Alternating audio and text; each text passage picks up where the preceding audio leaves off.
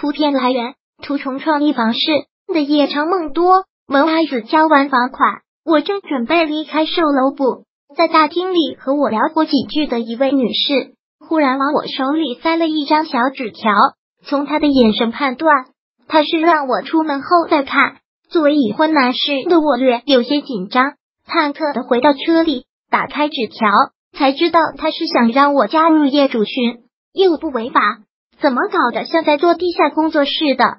入群后很快明白了，群友们很怕开发商派奸细混进来，不仅拉人时小心谨慎，入群时还得出示预售合同的照片。我今天去房产局查了，这些房号的房子都被抵押了，目前办不了网签贷款。刚进去没几天，就有人晒出了干货，大家一对照，一网打尽，自己的房子均在被抵押之列。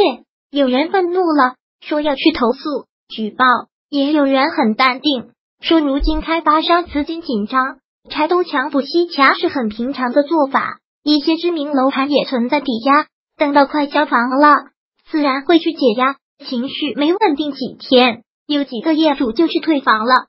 他们打听到附近有个小区入住五年了，都还没办下产权证，一千多户业主一直陷于投诉。打官司的泥沼之中，有的白领因为经常请假，已经被公司开除了。想到也许会有漫长的麻烦在等着自己，对于美好未来的向往顿时烟消云散。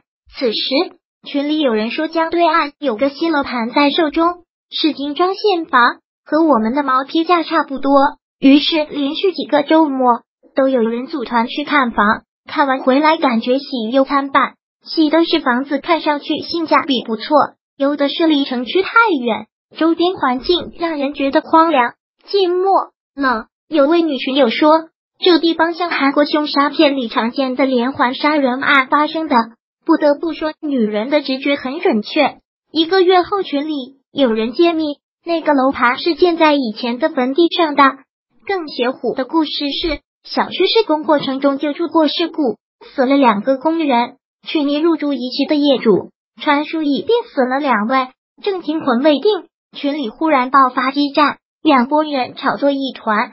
其中一波正义凛然的说：“实在看不下去了，暴露身份也要揭穿。”那些忽悠大家去买家对爱楼盘的群友，是潜入本群的该楼盘销售人员，而他们自己是奉命潜伏进来。我们购买的小区楼盘的销售人员，原来如此。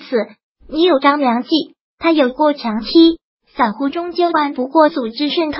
群里居然混进这么多细作，群主的心灵备受打击，决定解散群。大家根据关系新书，感觉好坏，很快又组了若干个小群。前些天，我所在的小群传来消息，我们楼盘的开发商又涉及一场官司，土地证也被法院查封了。想想还有一年多才交房。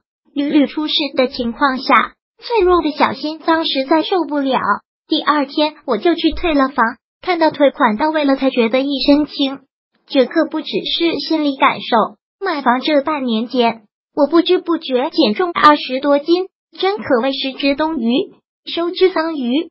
封面图来源：图虫创意，图虫创意 X 正版图片联盟 X 中国新闻周刊值班编辑李阳玉。